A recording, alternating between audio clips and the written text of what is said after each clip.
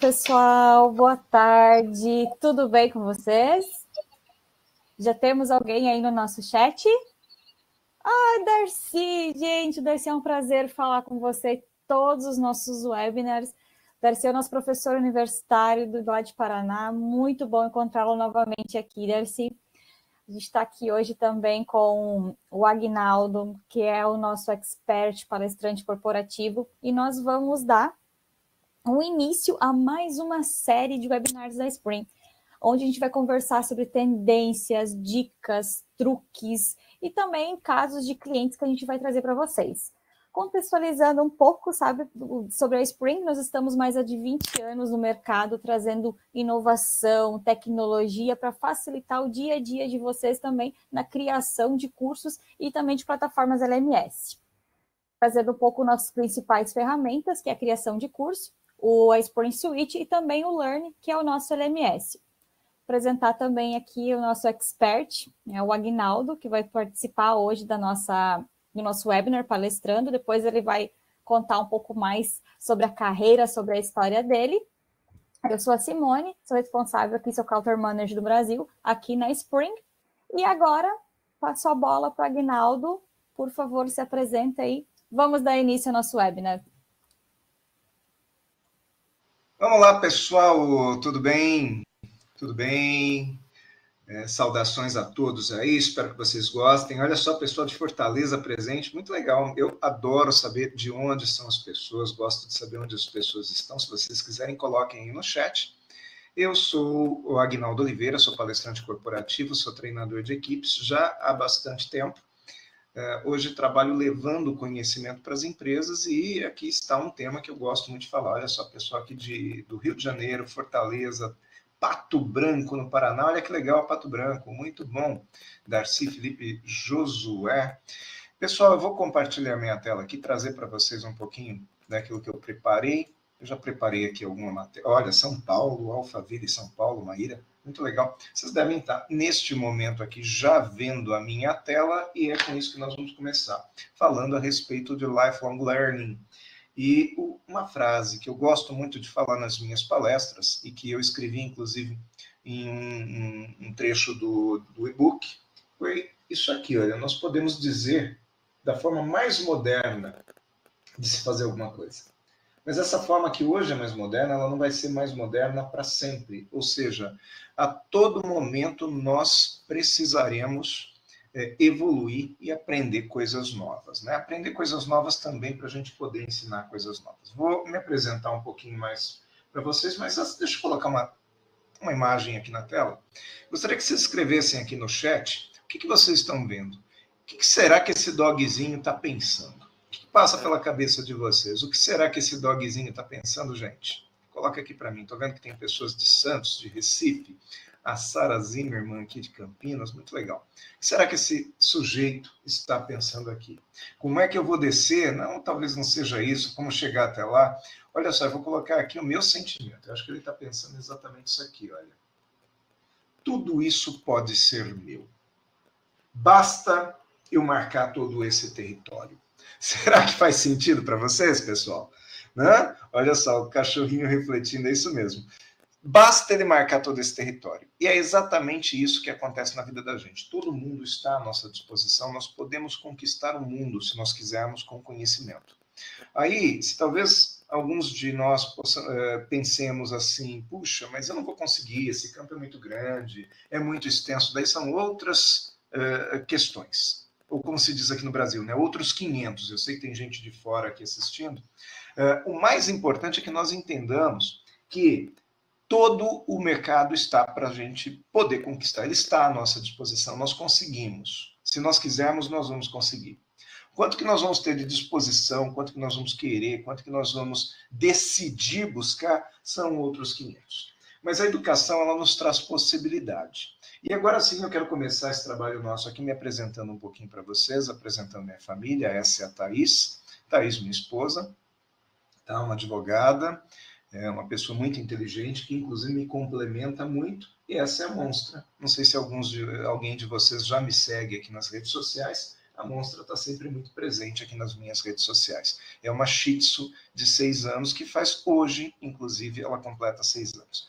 Um ponto muito importante aqui da minha personalidade é isso. Eu vi que tem alguém de Santos aí, então me respeitem porque eu sou santista, tá bom?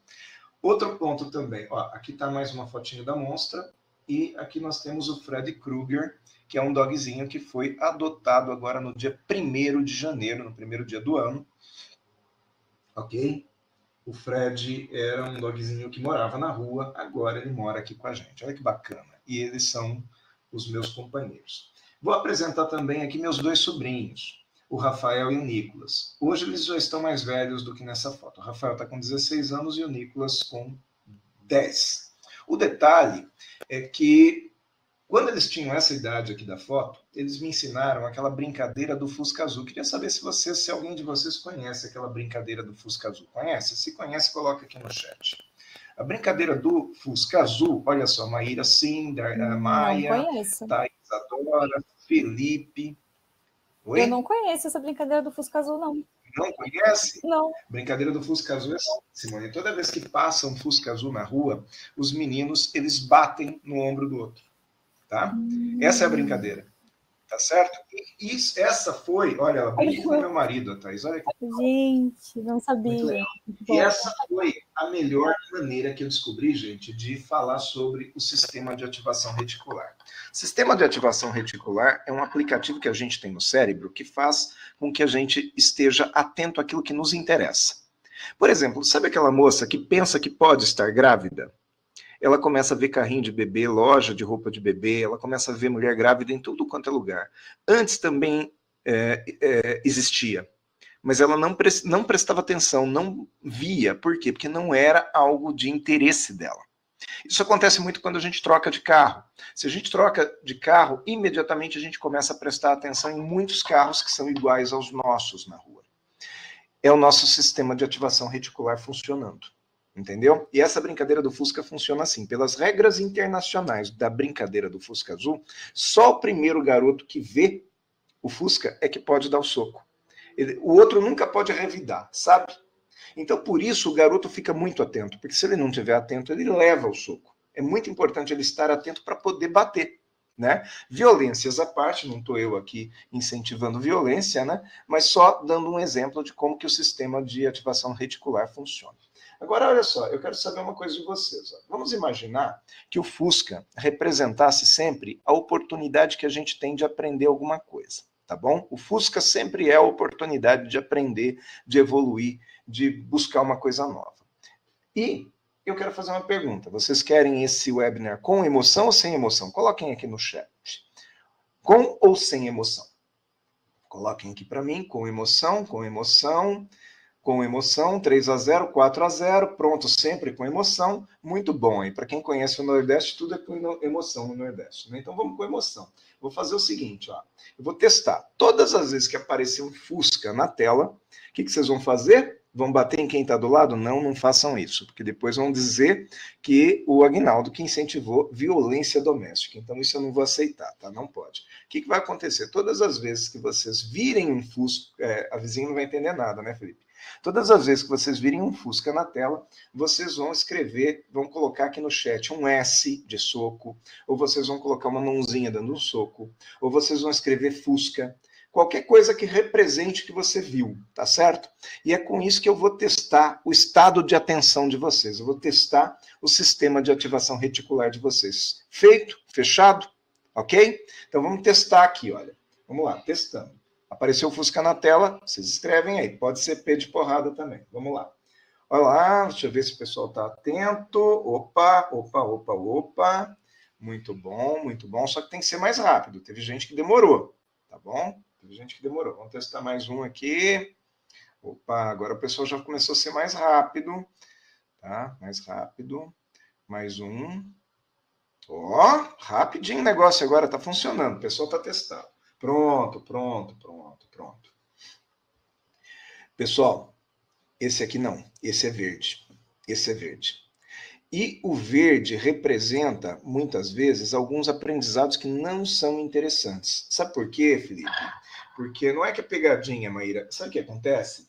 É que a gente é, sempre quer aprender, aprender, aprender, aprender, aprender. E lifelong learning é, é, lembra aquela questão de fazer cursos. Então, tem algumas pessoas que elas não são viciadas em aprendizado, elas são viciadas em diploma, em fazer curso. E esse é o Fusca Verde. Parece uma boa oportunidade, mas engana, não é, porque a gente perde muito tempo estudando aquilo que não interessa, que não funciona, que não pega realmente, tá? Que não vai nos ajudar. Então é muito importante que a gente tenha uma estratégia para o aprendizado, para que esse tempo em que nós estejamos nos dedicando ao aprendizado, ele seja realmente um tempo que vai é, dar resultado lá na frente, tá? Então é por isso que eu trago esse Fusquinha Verde aqui, tá? O Fusca Verde, então, não é uma oportunidade. Fechado? É uma, é uma oportunidade ruim, vamos chamar assim. Outra coisa, eu quero chamar a atenção de vocês para um ponto muito importante. As coisas mudam, sim ou não? Olha lá, o Fábio falando, já fiz vários cursos sem sentido. Perfeito. As coisas mudam. E até em função das coisas mudarem, é que a gente tem que continuar aprendendo sempre. Porque aquilo que eu aprendi hoje pode não fazer mais sentido amanhã. E essa é a base daquilo que a gente está conversando hoje, né? Aprendizado para o resto da vida. Então, até o Fusca muda. E se o Fusca muda, nós também precisamos mudar. Olha só que interessante. O pessoal está batendo aqui, mas teve muita gente que não bateu nesse Fusca.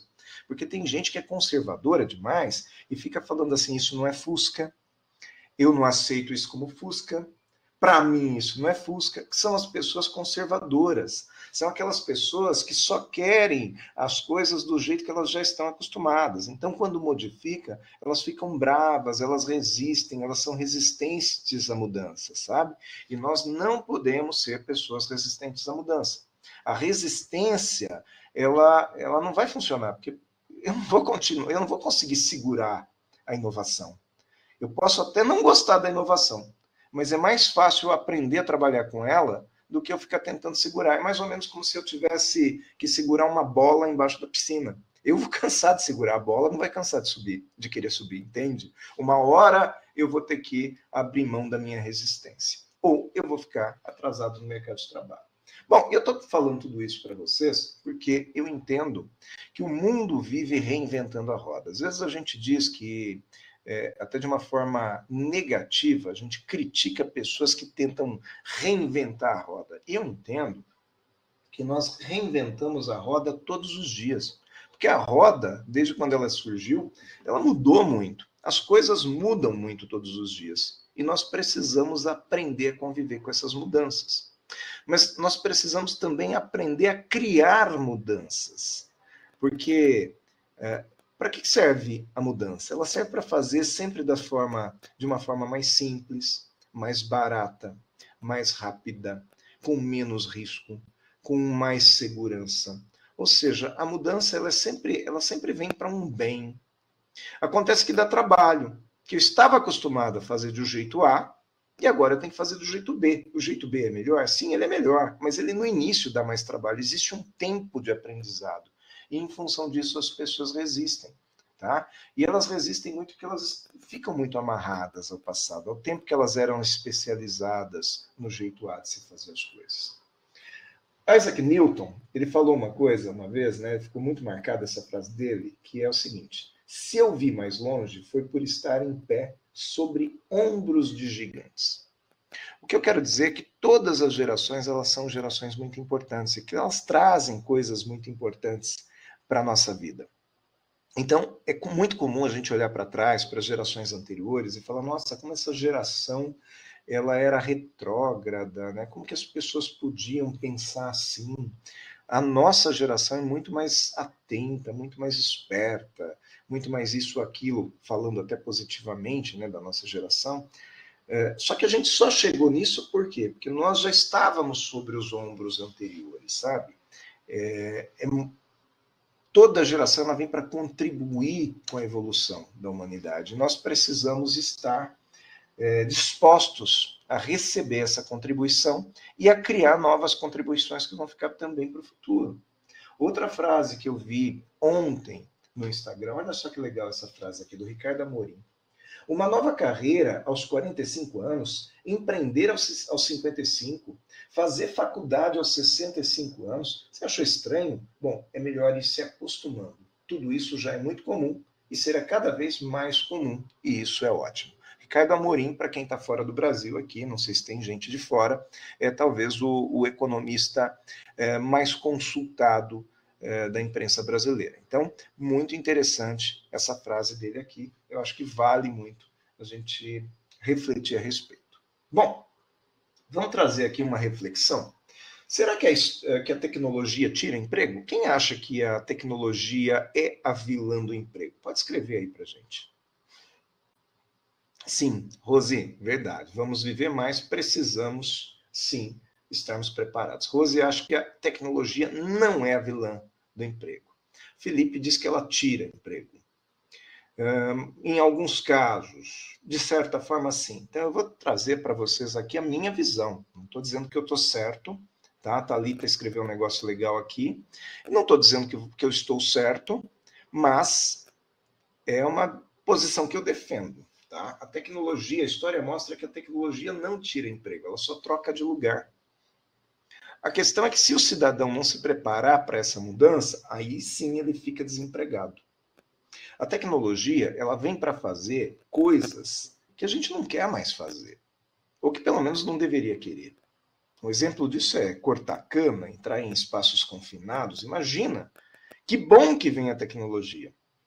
A tecnologia vem para fazer coisas que talvez o ser humano não devesse fazer, porque tem coisas mais interessantes para o ser humano fazer. Né? E, e, se você pegar esse exemplo que eu coloquei na tela aqui, quando veio a tecnologia da informática, ela gerou mais empregos ou menos empregos? Ou seja, muito mais empregos. Né? Nós temos muito mais empregos agora. Tá? Ela melhora não só a qualidade de emprego, mas também a, a, o retorno desse emprego, né? porque as pessoas são mais especializadas. Tá? Então a tecnologia é sempre uma coisa boa. Agora, vamos trazer uma outra reflexão aqui. O que é estudar? Bom, como eu contei para vocês, eu passei quase 25 anos trabalhando dentro de uma rede de escolas, né? E, e alguns estudos eu estabeleci ou eu participei, e um deles é isso aqui, ó. Estudar é. Aliás, antes, deixa eu falar uma coisinha aqui. Quando eu era criança, lá na década de 1970, estudar era até o primário. Tá? Primário aqui no Brasil, hoje é o fundamental, a primeira parte do fundamental. É, é, o Junior High School, né? Na década de 80, estudar era até o ginásio. Na década de 90, estudar era até a faculdade. Na década de 2000, estudar é até uma pós-graduação. E em 2010 é estudar para sempre. Ou seja, Agora, na década de 2020, ou bem antes disso já, não tem mais o até. Não existe mais o até. Hoje é muito mais importante, inclusive, a gente estudar e aprender habilidades do que ter títulos. O que eu quero dizer para vocês é que lá no passado as pessoas estavam muito preocupadas com diplomas. E hoje não se preocupa mais tanto com diploma, se preocupa com criar habilidades, em saber fazer em resolver problemas. Tá? Esse é um ponto muito importante. Empreender, empreendedor é um ser inconformado que, em vez de reclamar, gente, ele parte para ação. E o sujeito que parte para ação, ele não tem muito tempo de ficar se lamentando mesmo. Essa frase ela é muito importante e eu queria que vocês refletissem muito a respeito disso, porque o empreendedor, ele não é necessariamente o dono de empresa. O empreendedor é aquele cara que realiza. E você pode realizar coisas na sua vida sem nem estar trabalhando. Você pode realizar coisas na sua família, sem estar num ambiente profissional. Mas no ambiente profissional, você pode ser um realizador, ainda que seja dentro da empresa do outro. E para isso precisa ter conhecimento e habilidade. Já já a gente vai falar a respeito disso. Conhecimento e habilidade, que são duas coisas diferentes. Olha só, como que nós formamos os jovens? Você já reparou que a faculdade não ensina o sujeito a trabalhar? A faculdade ensina o sujeito a criar uma atividade, uma função. Por exemplo, um sujeito que vai é, estudar odontologia, ele aprende tudo relacionado à boca, a dente. Ele aprende a fazer todos os, os procedimentos na boca de um paciente. Mas ninguém ensina esse cara a empreender. Ninguém ensina esse cara a procurar emprego que seja. Ninguém ensina a vender.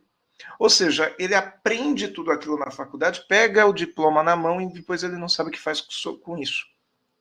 Porque nunca ninguém chegou para ele e ensinou o que é empreender, por onde ele começa, qual o primeiro passo, o que, que ele poderia fazer. Então, o empreendedorismo, e por isso que eu gosto dessa frase aqui, o empreendedorismo é chave para a educação e para o aprendizado.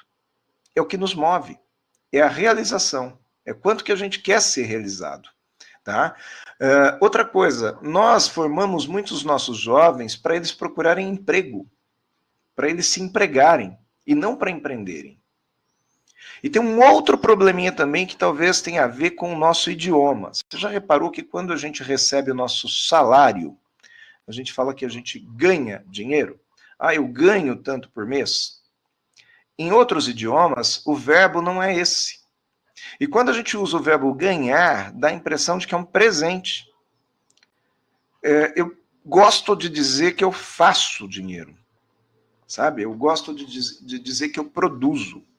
Quanto que eu produzo por mês, por ano? Tá? Eu produzo através do meu trabalho, ou seja, eu sou produtivo. Tá? E isso é muito importante. Quando eu vou aprendendo esse tipo de coisa, fica mais fácil eu evoluir. A evolução vai se tornando mais simples. Isso vai fazer sentido nessa tela agora. Olha só. A educação ela tem que vir de casa? O que, que vocês acham? Quem já ouviu essa expressão? Educação tem que vir de casa. Vamos ver lá também. Muito bom. Olha só, eu contesto um pouco essa frase. Eu também concordo que a educação tem que vir de casa, ou deveria vir de casa. Mas a responsabilidade social que as empresas tanto falam, ela também é uma responsabilidade social do cidadão. Então, se você é um cidadão que tem um pouquinho mais de cultura, você não tem só a possibilidade ou oportunidade de transmitir essa cultura para outras pessoas, mas você tem a obrigação social. Porque muitas vezes o teu colega vem de uma casa que não tem educação. E isso eu não estou falando de forma pejorativa. Mas, por exemplo, pais que não têm educação, como que eles vão produzir filhos com educação? Como que essa educação vai vir de casa para essas pessoas? O que eu quero dizer é que ninguém consegue oferecer o que não tem. A empresa também precisa se tornar uma fonte de educação para os seus colaboradores. É muito importante que a empresa assuma o papel de escola. A empresa precisa oferecer mais para o seu colaborador além de salário. Ela precisa oferecer cultura. Ela precisa oferecer caminhos. E isso muitas vezes custa muito pouco. Custa menos do que ter uma equipe mal treinada ou mal desenvolvida. Então eu gostaria que vocês refletissem a respeito disso, o quanto que nós podemos ser como pessoa física ou como empresas responsáveis por melhorar a educação do nosso país simplesmente transferindo conhecimento. Eu sou um cara que leva a bandeira da transferência do conhecimento. Né? Aqui no chat nós temos a Sara, que me conhece há muitos anos já, e ela sabe como eu me empenho para transferir conhecimento dentro das empresas que eu trabalho. Tá? Eu, eu levanto essa bandeira. E o que, quais são as etapas do aprendizado? Olha só, isso aqui é interessante também, que é muito técnico, sabe, gente? Ó, Primeira etapa do aprendizado é quando a gente vai aprender a aprender. É aquele momento que a gente cria uma baita de uma confusão, sabe? A gente não sabe aprender. Primeiro dia de aula, primeiro período, primeiro é, mês de aula, a gente fica super confuso, muita gente para os cursos, né? Quando está fazendo uma faculdade, o cara é, muita gente para a faculdade no primeiro mês, no primeiro semestre, porque fala, não vou dar conta. É um momento onde você ainda está aprendendo a aprender. As coisas ainda não fazem tanto sentido na sua cabeça. Depois que você aprendeu a aprender, você vai para uma outra etapa, que é aprender a ensinar. É onde as coisas já começam a fazer sentido na sua cabeça. Você já entende isso. Tá? Você já entende isso. Agora, o desafio é transmitir isso para outras pessoas. Quando você aprende a transmitir isso para as outras pessoas, você começa a ensinar as pessoas a se abrirem para isso. Então já não é mais transmitir conhecimento, é fazer com que as pessoas se abram para esse conhecimento. É aplicar técnicas que façam com que as pessoas estejam dispostas a te ouvir. Tá? E a última etapa é quando você vai ensinar a ensinar.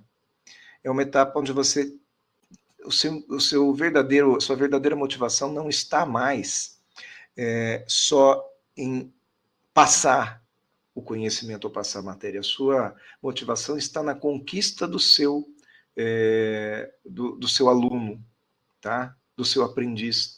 Você olha para o seu aprendiz com um, um, orgulho fenomenal, sabe? Até como filho mesmo, né?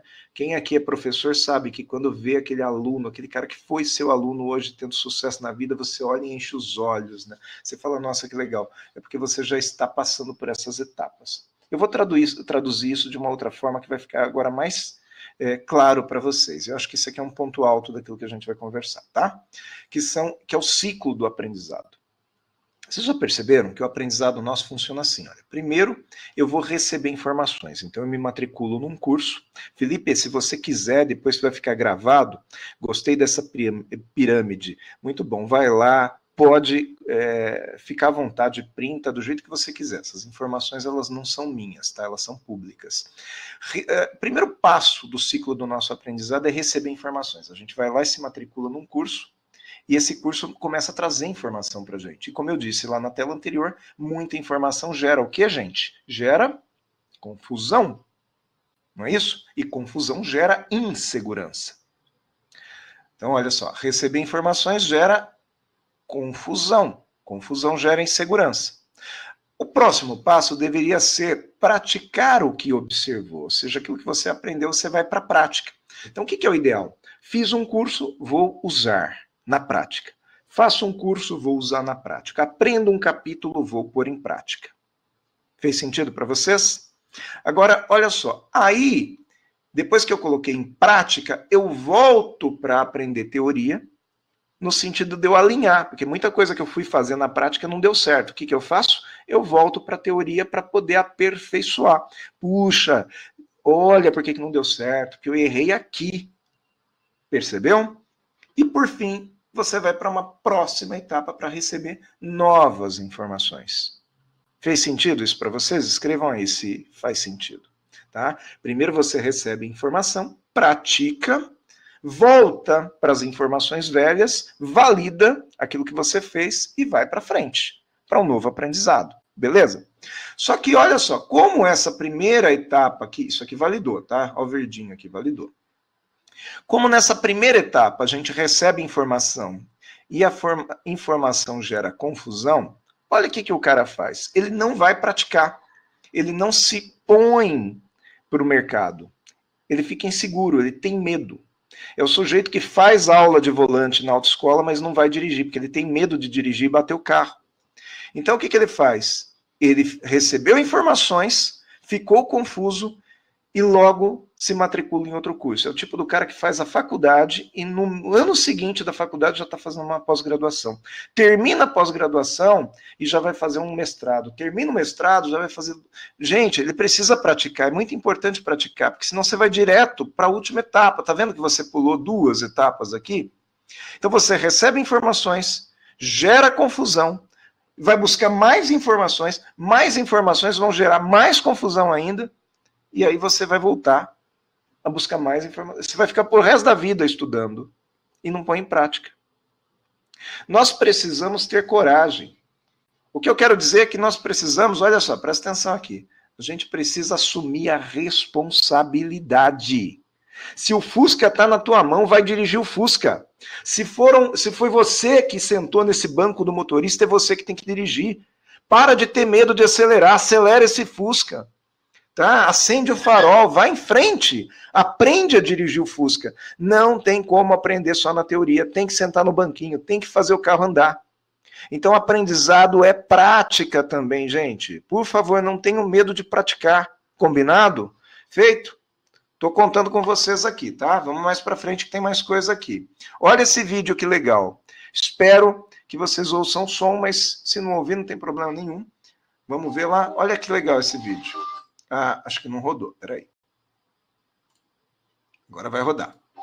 Veja aí.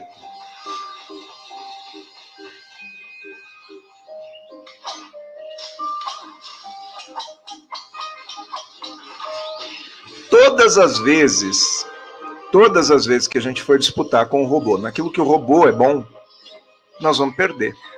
Nós temos que disputar com o robô naquilo que nós somos bons, no que você é bom. O que você faz que o robô ainda não faz? Emoção, por exemplo, o robô ainda não traz. Tá? E o problema é que nós temos o hábito de querer disputar com o robô naquilo que o robô é bom, que é fazer coisas protocolares. Olha só. Voltou aqui. Não dispute com o robô aonde o robô é bom, mas sim aonde você pode ser melhor que ele. Porque senão você vai perder o emprego para o robô. Tá? Olha que interessante aqui. Quando que eu me torno robô? Eu me torno robô quando eu faço apenas o trabalho protocolar, quando eu faço aquilo que o robô já faria. Quando eu vou numa loja de conveniência e o atendente me atende com essa cara, ele já está atendendo como robô. Então aí eu prefiro robô. É... Não humano, né? Porque pelo menos o robô não humano não me maltrata. Tá? Então, é, quando que a gente é trocado pelo robô? Quando a gente já se comporta como robô. Quando que é muito importante isso aqui, gente. Quando que eu me torno robô? É, nós existimos para fazer, para resolver o problema dos outros. Nós não existimos para resolver o nosso problema. Tem um ponto aqui, olha. Ah, tá bom, Felipe, olha lá. Só Felipe viu isso aqui que está na flechinha, né, gente? É um Fusca aqui, tá? Mas nós existimos para resolver o problema dos outros. O problema é que muitos de nós quer trabalhar para resolver o seu próprio problema. O sujeito vai trabalhar só pelo salário. Já apanhei muito nessa palestra, né, Felipe? Pois é, pois deve ter gente aí do teu lado. Se nós estivermos o tempo inteiro procurando aprender coisas novas e pensando em resolver o problema das pessoas, as pessoas vão nos pagar para isso. E quando as pessoas nos pagam para resolver o problema delas, a gente se empolga para poder aprender mais ainda, para poder eh, resolver mais problemas. Então, o nosso problema, que é a remuneração, ele vai ser resolvido é, por consequência de nós resolvermos o problema do outro. Coloca sempre como prioridade o que é que você pode oferecer. Olha só, e sempre com criatividade. Vamos ver esse vídeo aqui. Estou falando de criatividade, tá bom? E de fazer perguntas. Olha o papai aqui. Por enquanto ele está calmo, né? Ele está tentando tirar o garoto que entalou a cabeça na grade. Olha só, ele está super calmo lá. A mãe não está muito, a mãe está chorando. Como será que esse garoto entrou aqui, né? Ele está pensando. Numa segunda etapa, ele já está mais nervoso, ele vai para a parte mais violenta, ele tenta arrebentar a grade. E ainda bem que não conseguiu. Porque se ele consegue arrebentar essa grade, ele machuca o garoto. Tá? Outro ponto aqui é que ele tenta diminuir a cabeça do garoto. A gente já entra em desespero, né? Olha que interessante. Se ele tivesse perguntado para o garoto como é que ele entrou ali, ele saberia como tirar, por onde sai. Então, às vezes, a gente está numa situação muito chata, muito ruim. E o que a gente tem que fazer é perguntar como é que você chegou aí. E todas as vezes que sai, tem que vibrar. Será que a gente está vibrando? Gostaram? Olha só, estou vendo um amigo aqui, Sérgio Bayer, na, na, no chat. Muito bom, Sérgio, obrigado por ter vindo, viu? Legal. Olha só. Técnica ou talento? O que é mais importante profissionalmente? Técnica ou talento? É uma pergunta. Vocês acham que é técnica ou que é talento? Vou contar uma história para vocês aqui.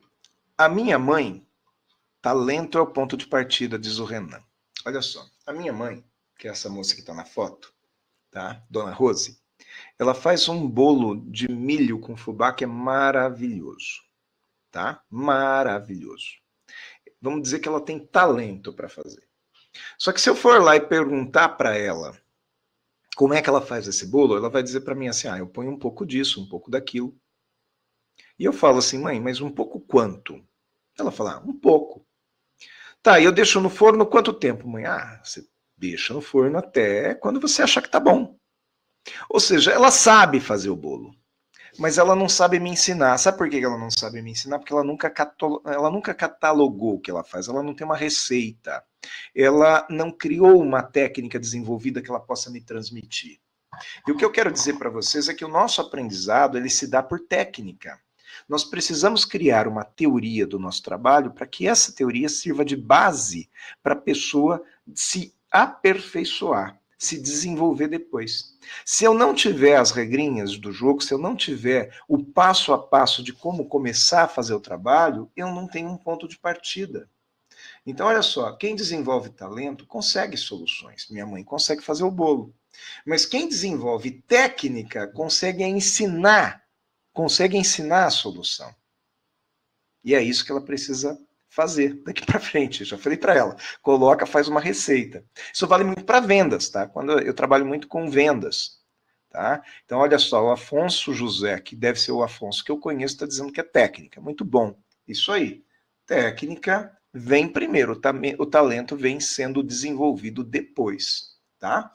As empresas, elas assumiram a, a, o papel da educação, tá? Então você vê que aí a gente tem uma, um desenho de uma empresa mais um, um, sujeito aí que é uma mistura de um trabalhador e um professor. Por quê? Porque a empresa ela não é só mais um, um lugar para dar lucro. A empresa hoje ela é uma fonte de aprendizado, de ensino, até porque as pessoas, as empresas entenderam que quanto mais elas ensinam, mais elas retêm o colaborador. O colaborador não fica mais na empresa só por causa do salário. O colaborador fica na empresa por causa daquilo que ele está aprendendo também. Sabe, muitas vezes, pessoal, o colaborador ele vai para uma outra empresa por causa de um pouquinho, só 10% de aumento na outra empresa. Mas não é só pelos 10% que ele está indo embora. Ele está indo embora para adquirir mais experiência, porque nessa empresa onde ele estava, a experiência já cessou. Ele já aprendeu tudo que ele tinha que aprender. Né? Então, olha só o que a Márcia está dizendo aqui: as empresas têm muitos mentores. É verdade, Márcia. É, as empresas elas precisam ter mentores, mas muitas vezes a empresa ela não evoluiu nesse sentido. Ela só está pensando em desenvolver o trabalho e aí é onde a empresa fica ultrapassada, porque ela não se torna também um laboratório. Entendeu? E o seu concorrente vai ensinar, o seu concorrente vai treinar, e ele vai funcionar. Só teoria não resolve. Lá no início dos anos 90, as empresas começaram a entender que elas precisavam treinar. No início dos anos 2000, elas entenderam que elas tinham muita teoria, elas passavam muita teoria, mas o colaborador dormia muitas vezes. O colaborador não tinha prazer em aprender. Por que ele não tinha prazer? Porque se tornava uma coisa muito chata.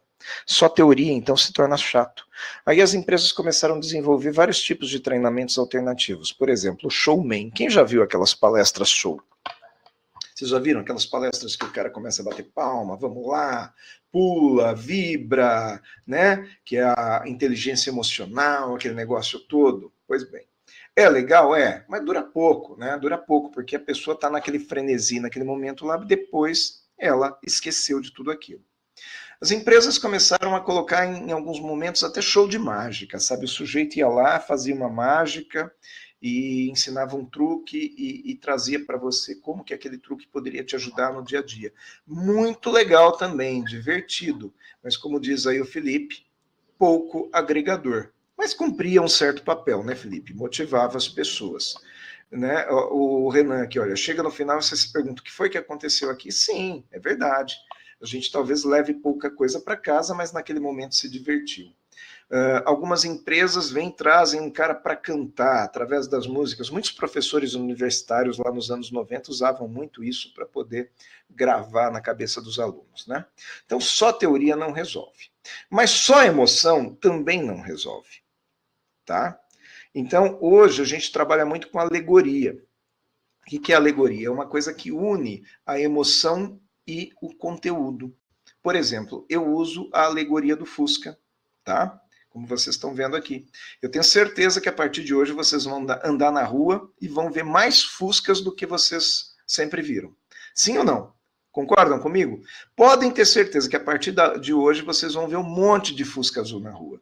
Nunca mais vocês vão andar na rua do mesmo jeito. Daqui a um ano, dois anos, três anos, vocês vão ver um Fusca Azul na rua e vão contar para o colega assim: nossa, uma vez eu vi uma palestra que o sujeito trazia, o palestrante trazia o Fusca Azul. Nunca mais eu esqueci. A roda é uma alegoria. Talvez vocês nunca mais esqueçam dessa história da roda.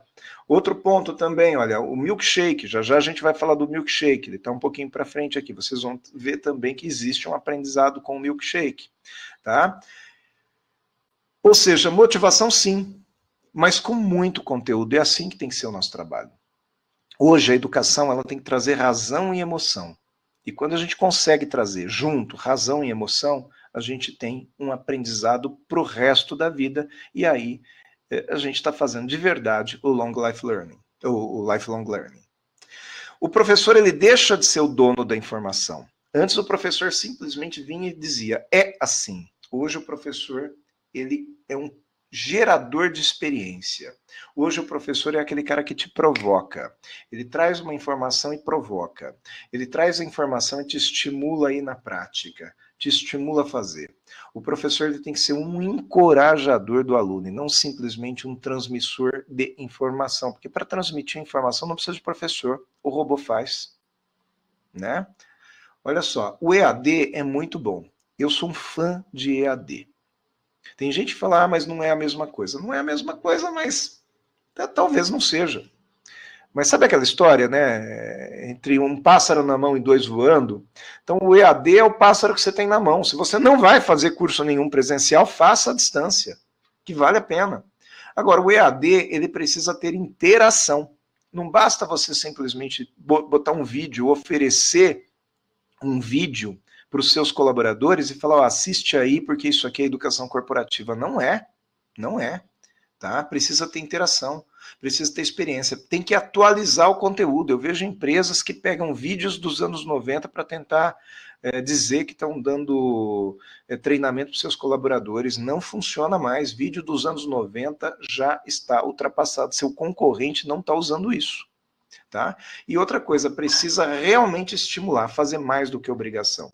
Muitas empresas, quando a gente pergunta, falava ontem com a Simone sobre isso, né? Quando a gente pergunta se a empresa é, treina seus colaboradores, ela fala assim: a gente tem a plataforma. Tá, mas o que, que você faz com essa plataforma? Você simplesmente entrega a senha da plataforma para o seu colaborador e ele que se vira? Não, ele tem que ter 80% de aproveitamento. Do quê? De perguntas básicas? Quanto que esse cara realmente foi estimulado a criar um projeto novo? Você está estimulando o seu colaborador a criar, a inventar, né? É, eu não lembro quem foi o autor da frase, mas ele dizia assim: não adianta você contratar um cara para você dizer para ele o que. Você contrata talento para dizer para esse cara o que, que, ele tem que fazer? Não, você tem que contratar um, contratar um talento para ele te dizer o que, que é para você fazer. Ou seja, uma pessoa que venha para ajudar a criar. Eu assisti esses dias atrás O Nome da Rosa. Vocês já assistiram O Nome da Rosa? A grande discussão desse filme é o seguinte. Não viu? Assistam. É um filme bem pesadinho, mas ele é muito legal, porque ele traz uma reflexão muito interessante. A Márcia, assim. É, o nome da Rosa. A, a, o aprendizado, ele é novo ou você deve rever só aquilo que você já via no passado? Tá? Ou seja, as coisas mudam, gente. Todos os dias tem um conceito novo. Aquilo que eu aprendi no passado, ainda que tenha sido escrito na pedra, vai mudar, tá? Vamos ver isso aqui, ó. Nem todos somos iguais, nós temos formas diferentes de aprender. Olha que interessante, o Felipe está falando aqui da geração TikTok. O TikTok também é uma forma de aprendizado, tá, Felipe? Olha só. Nem todos nós somos iguais. Tem pessoas que aprendem em escolas, livros, vídeos e podcasts. São quatro formas de aprendizado, tá? É, lembrar das pessoas com dificuldades com as plataformas. Ah, tá. O Felipe está dizendo, eu entendi agora o que, que ele quis dizer com a geração TikTok. Tá perfeito, Felipe. Mas assim, o que eu quero dizer aqui é que tem pessoas que vão aprender mais com professores, tem outras pessoas que não têm muita paciência com o professor, vão aprender lendo. Tem outras pessoas que não têm paciência com leitura, vão aprender através de vídeos. A gente costuma criticar quem não tem o hábito de ler, mas existem outras formas de aprendizado que não é que não necessariamente só a leitura, tá? tá? Aí olha só, lembrar das pessoas que têm dificuldade com tecnologia. Essas pessoas que têm dificuldade com tecnologia, elas também precisam ser atingidas pela empresa. Ou ensinando tecnologia, ou criando outra forma dessas pessoas aprenderem coisas importantes. E quando eu escrevo aqui, lembrar da tia do cafezinho, é o seguinte: eu, eu trabalhei numa empresa que essa empresa, lá no início dos anos 2000, final dos anos 90, sabe o que ela fez? Ela começou a oferecer curso de informatização para os colaboradores. Estou falando de 20, 20 e poucos anos atrás. E ela deu um curso de informatização para a tia do cafezinho. E as pessoas criticavam, falavam assim: não sei por que a empresa está gastando dinheiro com ela, fazendo curso.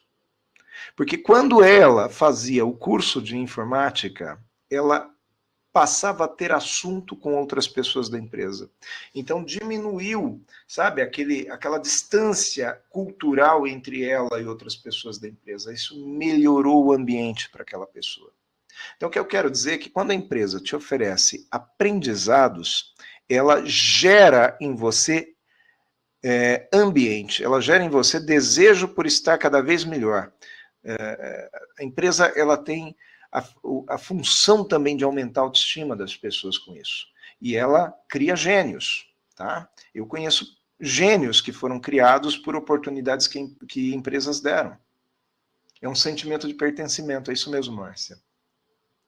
E como escolher minha profissão, então, baseado em tudo isso que eu estou colocando? Eu estou falando isso, eu sei que tem profissionais aqui já bem experimentados, mas talvez tenha também pessoas num início de carreira que estejam me perguntando isso, né? Olha só, é aquilo que eu gosto de fazer ou é aquilo que dá dinheiro? A gente tem muito hábito hoje nessa geração de falar que as pessoas devem trabalhar com aquilo que gostam. Sim, eu concordo, trabalhar com aquilo que gosta. Mas também tem que trabalhar com aquilo que existe demanda. Porque se eu for fazer só o que eu gosto, talvez eu não tenha mercado. Tá? Então eu tenho que trabalhar justamente nesse momento aqui, nesse local, olha, na intersecção entre aquilo que eu gosto de fazer e aquilo que o mercado me paga. Tá? E eu preciso aprender coisas que fazem com que eu tenha essa oportunidade. Por exemplo, esses dias atrás eu estava conversando com a minha sobrinha, uma pessoa de 22 anos, fantástica, que acabou de formar na faculdade. E ela perguntou: o que, que eu faço agora? Eu faço já emenda uma pós? Eu falei, falei não vai fazer o Empretec, vai fazer um curso de empreendedorismo, vai fazer um curso de vendas. Ela falou, mas eu não vou trabalhar com vendas. Eu falei, não tem problema, vai aprender a vender, mesmo que você nunca venha precisar vender na vida. Porque um dia você pode ser CEO de uma empresa e vai ter um departamento de vendas sob sua tutela. Então não adianta você querer ficar repetindo o conhecimento daquilo que você já sabe. Começa a ampliar a tua cabeça. Vai enxergar como outras pessoas fazem coisas. Vai aprender empreendedorismo, isso é fundamental. Olha, ensinar é muito legal. Ensinar gera autoridade. Todas as vezes que você se torna um bom professor, as pessoas te veem como autoridade, elas te elas geram gratidão para ti. E ensinar é treino. Olha o que, esse professor vai fazer com o Jimmy. Imagina que o Jimmy hoje esteja no primeiro dia de trabalho aqui na sua empresa, tá? Ele é o estagiário novo, ele chegou hoje para trabalhar. Vamos ver o que acontece com o Jimmy. O Jimmy está tendo dificuldade com o trabalho dele. E ele já está pensando: será que eu vou conseguir? O Jimmy, ele tentou algumas vezes a fazer o trabalho que foi imposto para ele, mas ele já está pensando em pedir demissão. Só que a equipe, ao invés de virar a cara para o Jimmy, que já fez a carta de demissão dele, olha só, está chorando, a equipe está incentivando e o professor também. Olha o gestor do Jimmy lá, o que está fazendo. O gestor do Jimmy não é o cara que só manda fazer, ele mostra como faz. E a equipe incentiva. Você muitas vezes precisa posicionar o seu aprendiz e a equipe está lá ajudando, olha lá. E vibra junto. Gostaram desse vídeo? É muito importante que a gente tenha sentimento de, de, de, de prazer de ensinar o Jimmy. Quantos Jimmys você tem na sua vida? E quantas vezes você foi o Jimmy? Né? Olha só que legal, gente. Isso que a Simone está escrevendo aqui é fantástico, olha. Hoje a Spring ajuda mais de 70% das empresas a capacitar seus colaboradores de uma forma prática, rápida e eficaz. Muito legal, Simone, muito bom. É isso. A história do milkshake é o seguinte: uma vez a minha mãe, ela estava passando. Simone, você quer falar alguma coisa? Posso seguir? Não, pode seguir. Eu fiquei com a imagem do. do Muito do bom. Você pode me interromper se você quiser, tá? Fique à vontade. Uma vez a minha mãe estava passando em frente a uma lanchonete dessas, da mais, da a mais famosa que tem, ela e uma amiga mais jovem. E aí um morador de rua gritou ali na frente falou assim: é, Dona, a senhora me compra um milkshake?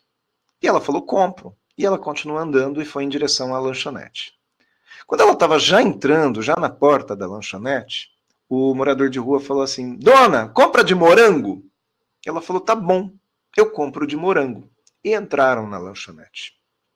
Aí a amiga dela, bem mais jovem, minha mãe tem hoje 75 anos, a amiga dela, bem mais jovem, falou assim: Nossa, além dele pedir, ele ainda quer escolher? E ela imediatamente teve o sentimento de falar para a amiga assim: Mas se eu vou comprar um milkshake, tanto faz eu comprar de morango ou de chocolate. O preço é o mesmo. O trabalho que me dá é o mesmo. E se eu me propus a comprar, por que eu não posso deixar ele escolher? Por que, que eu tenho que comprar um milkshake que eu gosto e não o que ele gosta? E essa é a diferença que acontece com muitos gestores. Tem muitos gestores que, para estimular o colaborador, eles oferecem cursos daquilo que interessa para eles. E às vezes a gente está dando um milkshake de chocolate para um cara que gosta de morango.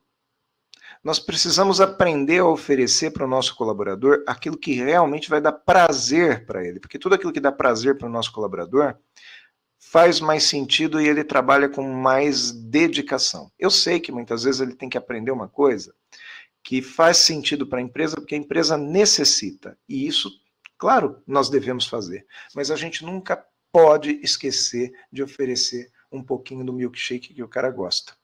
A pergunta é: o milkshake errado vai te custar a mesma coisa ou não?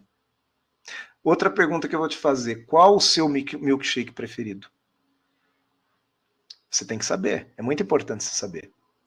E outra pergunta: qual o milkshake que você está oferecendo? Será que você não está se desgastando demais oferecendo o milkshake errado?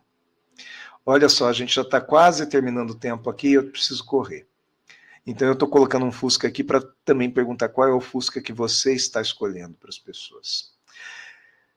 Eu gosto muito de tirar uma selfie. Se vocês puderem, printem a nossa tela e postem nas suas redes sociais, tá? Eu faço sempre questão de printar uma tela e colocar nas redes sociais. Eu faço isso em toda palestra minha, olha que legal. Porque eu gosto do público, tá? Eu gosto de homenagear o público. Se vocês puderem, é, me sigam nas redes sociais, tá? Eu tive um probleminha com o meu Instagram esses dias atrás aí, então fiquem atentos. Ele foi invadido, mas eu acho que já está voltando. Mas se vocês puderem, me sigam lá. Bom, quero fazer uma pergunta para a gente encerrar. Quem é que motiva o motivador? Quem motiva o motivador? Quem motiva o professor? São seus ideais. E a pergunta é: você tem ideais? Quais são os seus ideais? Será que eles são materiais, como esse Fusca azul, bonito, lindo, maravilhoso? Ou será que seus ideais são pessoais e familiares? Quaisquer que sejam os seus ideais, você precisa persegui-lo. E muitas vezes acontece da gente pensar assim: puxa, eu já fiz tudo errado. Será que dá tempo de eu corrigir? O que, que você faria se você fosse este goleiro?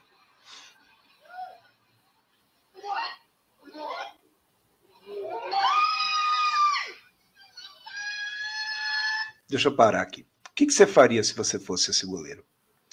O que eu quero dizer, vamos ver o vídeo de novo. Né? Se eu fosse esse goleiro, Agnaldo, eu ia falar que minha mãe está chamando, eu ia dizer que machuquei, que vai chover, né?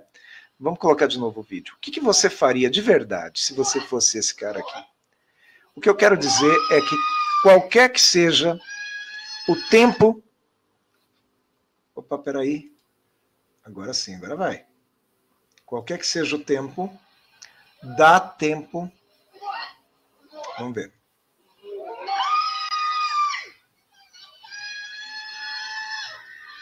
Dá tempo de corrigir. Sempre é tempo de fazer o certo, tá? Sempre é tempo de fazer o certo. Então eu queria lembrar vocês que mudanças fazem parte da vida, é muito importante a gente se acostumar com as mudanças. Acostume-se. Antes de tudo, tenha fé, durante tenha coragem, durante o processo tenha coragem e depois do processo pronto, tenha gratidão. Muito importante olhar para trás e agradecer. Quem não agradece não consegue fazer novamente. Espero que vocês tenham gostado do trabalho. É, ficaria muito feliz, muito obrigado, gente, mas ficaria muito feliz mesmo se vocês me mandarem uma mensagenzinha nesse WhatsApp aqui, tá?